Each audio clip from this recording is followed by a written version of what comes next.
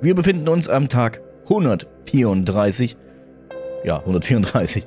Ähm, denn ich sage euch gleich, warum. Ich lade einmal das Spiel und wir haben heute ein bisschen was vor. So wie immer eigentlich. Aber ob wir dazu kommen, ob wir alles schaffen, was ich mir eigentlich vorgenommen habe, das bleibt natürlich zu bezweifeln. Und deswegen schauen wir einfach mal, wie weit wir kommen und was wir alles davon schaffen, von dem, was wir machen wollen. So, ja. Starving, Food needed. Wir haben Hunger.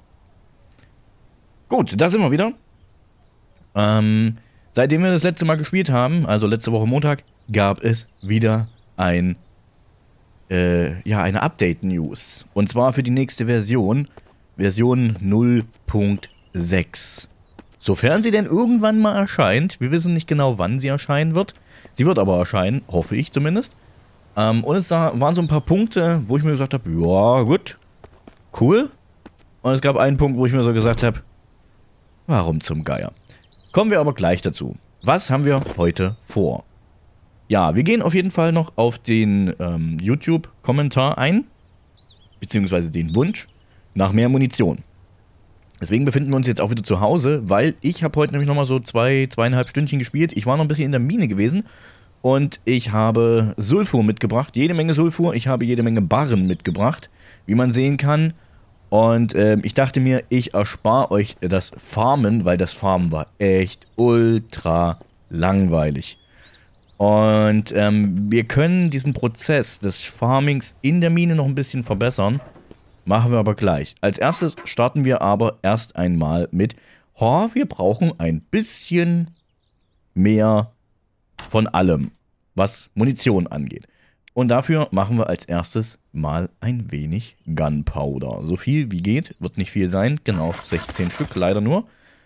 Aber das ist kein Problem, weil das ist nicht das Einzige, was ich mitgebracht habe. Ach, ich sollte erstmal was essen, fällt mir gerade ein. Äh, ich muss mal gucken, ob ich überhaupt noch was zu Mampfen habe. Ich war zwischenzeitlich auch beim Händler gewesen, deswegen habe ich noch ein bisschen Munition. Ähm, also nicht wundern, dass da ein bisschen mehr drin ist im Inventar, als da eigentlich hingehört. Das wollte ich eigentlich noch beiseite legen, habe ich aber vergessen. So, die packe ich jetzt hier gerade mal rein. Ich glaube, die ist die, die ich brauche. Ne, Revolver. Hunting Rifle. Das war das Hunting Rifle, was ich dabei habe, ne? Genau. Ja, wir waren beim letzten Mal stehen geblieben. Äh, ich hatte keine, ähm, keine Piekser mehr gehabt. Ich habe mir in der Zwischenzeit zwei Piekser mal gemacht, um, ja, einfach welche zu haben. Denn äh, das hat mir in der Mine auf jeden Fall sehr viel weitergeholfen, um da, schönen guten Tag, ähm, um da ein bisschen weiter voranzukommen. Es regnet. Das ist aber nicht schlimm, weil ich, warte mal, ich muss mal gerade gucken. Werden die Beete beim Regen nass?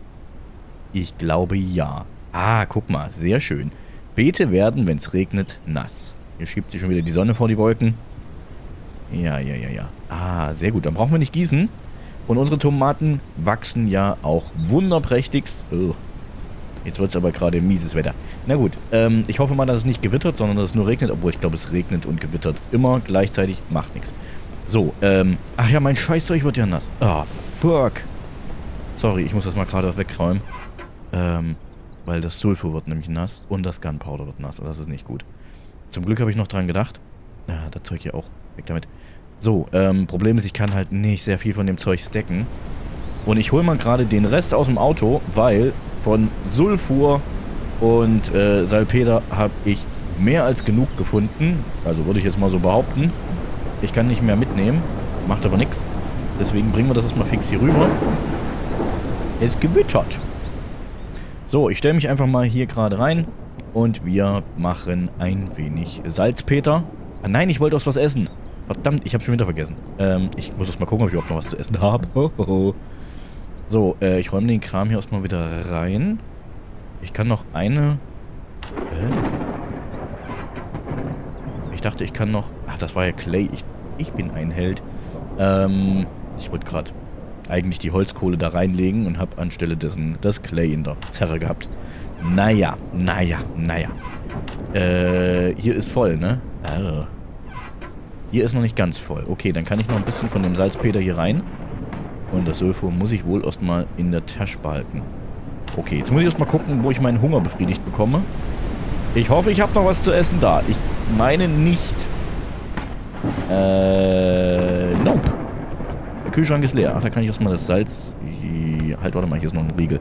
Den Riegel esse ich wenigstens etwas. So, das Salz lassen wir hier. Und so, rein mit dem Riegel. Ist nicht viel, aber wenigstens etwas. Und unser Hunger ist etwas gestillt. Ich würde sagen, wie spät haben wir denn? 13.15 Uhr. Wir gehen einfach gleich auf die Jagd. So. Ich hoffe mal, dass das Wetter besser wird. Nope. Noch nicht besser geworden. Dann schlafen wir halt noch mal ein Stündchen. Das ist, ähm, also dass wir jetzt auf die Jagd gehen, ist eigentlich auch ideal dafür, ähm, um euch noch ein bisschen zu sagen, was denn nun mit dem nächsten Update ist, was denn in der Zwischenzeit eigentlich passiert ist und wie es weitergeht. Ja, ähm, wie geht es weiter? Also, ich habe, wie gesagt, noch einiges an To-Dos auf der Liste. Also, ich könnte locker, na, bestimmt noch 20, 30 Stunden mit Content füllen. So, ähm, also das, das wäre locker drin. Das Problem ist halt nur, äh, irgendwann möchte ich auch mal wieder was anderes spielen.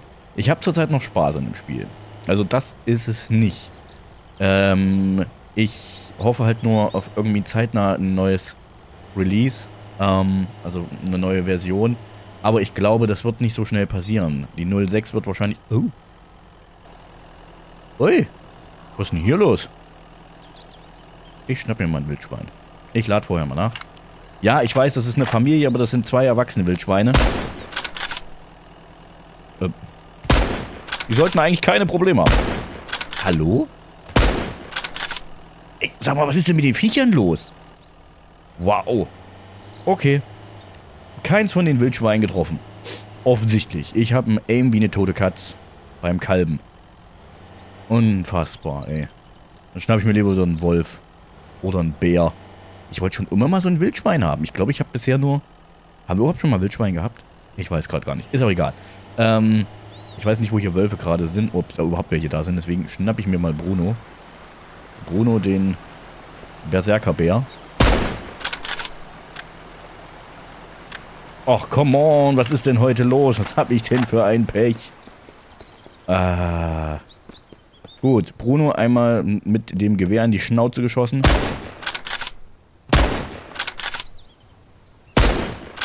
Alter, wie viel verträgt denn das Vieh? Bruno, der gepanzerte Bär oder was? Hallo? Ich hätte gern einen Bär zum Mittag. Mann, ey. Was zum Geier? Boah. Komm gefälligst mit, Fettsack. Hä? Okay, ich habe mein Zielfernrohr noch in der Hand. Damit kann mir jetzt nichts passieren. Ich sehe gar nichts. Ey, wo renne ich denn hin? Ah, da ist das Auto. Yippie. Wow. Wir haben jetzt quasi den Bär mit einem Zielfernrohr ausgestattet. Auch nicht verkehrt. Kann man mal machen. So. So. Der bleibt da liegen? Ja, natürlich bleibt er da liegen. Aber anders als gewollt. So. Komm mal mit. Pack dich mal aufs Dach. Ich glaube, das geht eher. Hä? Nein. Oh, fuck. Wollte dich doch hier oben. Ja, gut, so geht's auch. Glaube ich. Nein! Der Bär will nicht mehr. Was soll denn das? Hä? Och, was ist denn heute los? Ich würde dich gerne hm, da oben drauf packen. So, mal gucken, ob es so klappt. Ey, was ist denn mit diesem Kackbär? Der will nicht. Herr Bär, wie wär's? Warte mal. Vielleicht klappt das so. Glaube, ich habe ihn. Einmal zwischen den Schränken eingeklemmt. Ja, läuft. So, wir brauchen Bär. Wir haben bärigen Hunger. Wird nicht lange halten. Vielleicht sollte ich den einfach wieder pökeln, nachdem ich ihn auseinandergebaut habe. Weil ich glaube, das gepökelte Fleisch hält ja nun mal um einiges länger. Oh Gott, die Karre fährt aber gerade echt langsam. Oder? Nein. Ähm, scheint nur so. Okay. Ähm, was haben wir also vor? Also wir möchten heute auf jeden Fall so ein bisschen Kleinkrams machen. Also erst, als allererstes machen wir Munition. Nee, als allererstes machen wir was zu essen. Danach machen wir Munition. danach kümmere ich mich so ein bisschen um so ein bisschen Deko, Dekokram. Ähm, weil das habe ich eigentlich schon sehr, sehr lange auf der Liste, dass ich das mal machen wollte. Und was mir aufgefallen ist, wir schlafen jedes verdammte Mal, wenn wir irgendwo hingehen und es gerade irgendwie Zeit zum Überbrücken von Zeit ist, schlafen wir auf dem verdammten Fußboden. Und das Spiel bietet mir die Möglichkeit, einen Schlafsack zu bauen. Ich habe noch nicht einmal dran gedacht, mir einen Schlafsack zu bauen. Nicht ein einziges Mal. Hammerhart, oder? Naja, wir bauen auf jeden Fall einen Schlafsack. So, du kommst mal mit, Bruno. Ich habe da eine wunderbare Behausung für dich. Da werde ich dich jetzt erstmal ablegen. Du bleibst draußen. So, und wir werden dich mal ein wenig auseinanderbauen. Hard to use. Achso, ich habe wieder mal kein Werkzeug für den Bär dabei. Na gut, dann äh, holen wir mal gerade eben... Äh, was nehme ich denn? Ähm, das Ding hier. So, einmal die Axt. Warte mal, ich lasse mal gerade den Pfeil da. Ich habe nämlich noch so einen Pfeil hier im Inventar. Und die Flasche kann ich unterwegs auch mal ablegen. Da kommen wir nämlich am Flaschenlager vorbei, beziehungsweise an unserem Pfandlager. Irgendwann wird es mal wichtig, das Pfandlager. Irgendwann. Ich sehe das schon kommen. Und wenn es soweit ist, ich bin euer Mann. Ich hab Pfand. Mhm. So, einmal den Schädel auseinanderhacken. Bitte. So, wir kriegen auch wieder Durst. Ah. Ich werde mal direkt das Fleisch pökeln. Ah, beziehungsweise ich darf nur... Ah, das ist jetzt... Ah, ja, okay, okay. Mir fällt gerade wieder ein, ich kann gar nicht alles Fleisch pökeln. Das funktioniert ja gar nicht. So, weil wir brauchen ja direkt was zum Essen. So. Äh, oh, ich habe irgendwie zu wenig Salz mitgenommen. Naja gut, ich nehme jetzt einfach mal den ganzen Packen Salz mit. Was soll der Geiz? So, wir dürften eigentlich, oder wir könnten theoretisch eigentlich auch nochmal ein paar Fische holen, nochmal ein bisschen angeln. Aber Problem ist bei dem Angelzeug, ja, die, diese, diese Angeldinger gehen immer viel zu schnell kaputt. So, kann ich hier noch was reinlagern? Ja, sehr gut. Hängen wir mal gerade ein bisschen Fleisch auf. Ich hoffe mal, dass es relativ schnell trocknet. Und dass wir bei Zeiten wieder was zu mampfen haben. Wie sieht es denn eigentlich hier aus? Ist hier noch was Brauchbares? Nö, hier auch nicht. Okay, diese Gedärme lasse ich jetzt auch mal noch da hängen. Das ist mir jetzt gerade egal. Jetzt nehme ich mal noch den Rest vom Rest vom Bär auseinander. Nein, bleib doch liegen. Was ist denn gerade los? So, ich brauche erstmal ein Fleisch. So, ähm, das schneide ich mir mal gerade raus.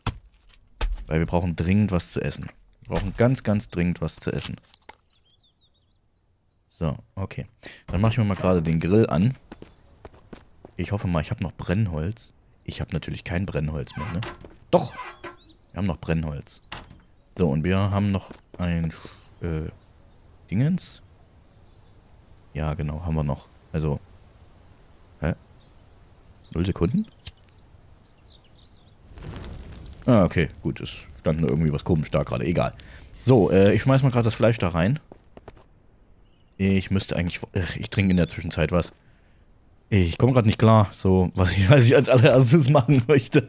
Oh Mann, gerade so ein bisschen äh, durcheinander. So, okay. Jetzt haben wir auf jeden Fall erstmal was getrunken. Dann setze ich mich mal gerade fünf Minuten hier hin. Und das Fleisch ist immer noch nicht fertig. Nochmal fünf Minuten. Hallo? Hallo Fleisch? Ja. Na. Das dauert aber. Hallo? Ich glaube 15 Minuten oder so dauert das, ne? Oder kann ich gerade nicht schlafen? Irgendwas ist gerade komisch. 1746? Ich kann gerade nicht pennen. Ach so, weil ich starve wahrscheinlich. Okay. Ja gut, wir haben Hunger, also müssen wir jetzt warten. Singen wir schweinische Lieder am Lagerfeuer. Ich kann keine schweinischen Lieder. Schade. Naja, Gehen wir erstmal auf das Update ein. Es gab Update-News. Oh, Essen ist fertig. Es gab Update-News. Und das wichtigste und der allererste Punkt in der Update-News waren, hey, man darf sich endlich auf Stühle setzen, beziehungsweise man darf sich endlich irgendwo hinsetzen. Wo ich mir so gedacht habe, ernsthaft, das ist jetzt gerade das wichtigste Update, was das Spiel braucht, man, dass man sich auf Stühle setzen kann. Ich meine, man kann sich jetzt nicht auf Stühle setzen, ne? Also ich meine, klar, es ist zwar ein bisschen blöd, dass das nicht geht, aber andererseits, ne? Es gibt Wichtigeres, als auf Stühle sich setzen zu können. Naja, ähm, auf jeden Fall wird es mit dem nächsten Update möglich sein, sich in Stühle rein zu flezen. Ist okay, brauche ich nicht unbedingt. Ähm, Aber okay, gut, vier Stunden, da ist das Feuer wieder aus. Naja, das war etwas, was er lang und breit in dem Update, in der Update-News ja kundgetan hat, auch in den Videos gezeigt hat. Man kann es jetzt überall in diese Plastikstühle und was weiß ich für Stühle reinfläzen und kann halt eben, ja, sitzen. Yippie. Wow. Okay, von mir aus. Ähm, ist jetzt nicht unbedingt das Feature, wo ich mir gesagt habe, das bräuchte ich. Aber okay, von mir aus. Es ist nett, dass es gemacht hat. Aber wie gesagt, Prioritäten. Ja, da hat er eh sowieso seine Probleme mit Prioritäten. Äh, er macht immer andere Sachen, die unwichtiger sind als das, was eigentlich gerade ja, am wichtigsten wäre. Und das wären erstmal Bugfixen und halt eben mal so ein bisschen zeigen, dass es irgendwie vorwärts geht. Aber nichtsdestotrotz, er hat gezeigt, dass es vorwärts geht. Ähm, und zwar, jetzt muss ich gerade mal gucken, wo packe ich jetzt hier das Brennholz, das olle Kackholz hier rein. Das packen wir mal hier rein. So, ähm, es gab Updates bezüglich. Was hatte ich noch aufgeschrieben? Ich habe mir das gerade aufgemacht. Ja, genau. Der Generator, das Licht und Lichtschaltermechanik. So. Ähm, es wurde im Vergleich zu dieser Version hier das Weiße Haus als, ja, ich sag mal, Nonplusultra wieder hergenommen. Ich habe hier gar kein Brennholz, fällt mir gerade auf. Das Weiße Haus, was man aus vorhergehenden Versionen kennt. Wir kennen es nicht, weil wir haben das hier nicht. Wir haben das Weiße Haus einfach nicht. Ähm, aber das Weiße Haus war für alle, die es bisher gespielt haben, sozusagen das Nonplusultra was äh, ja, Mechanik und so weiter angeht, beziehungsweise Aussehen und so weiter. Also das war wirklich das Nonplusultra. Ähm, weil da konnte man wirklich sich schön einrichten, man konnte den NPCs ein Zimmer zuordnen oder zuweisen. Man konnte das eigentlich sehr gut hernehmen, weil es halt einfach ein fertiges Haus war und das konnte man für sich beanspruchen.